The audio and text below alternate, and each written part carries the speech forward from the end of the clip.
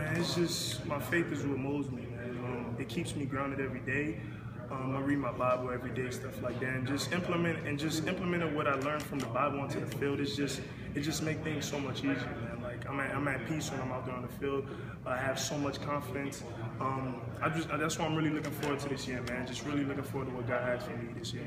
You know, I'm really I'm really excited, man. It's, it just molds me as a person, and I'm just I just can't wait to glorify Him through through my playing abilities. Is that a family influence, or is there maybe one person in particular who's really instilled that in you? Uh, really, really, I just was in church every day as I grew up, and I never really took it serious until things just start happening. You know, I hit a down, I hit a down, um, a downfall in my life. Um, somewhere in my midlife, um, 11th grade senior year. But you know, as I just continue going to church and just continue keeping my faith, um, reading my Bible, I just started learning things.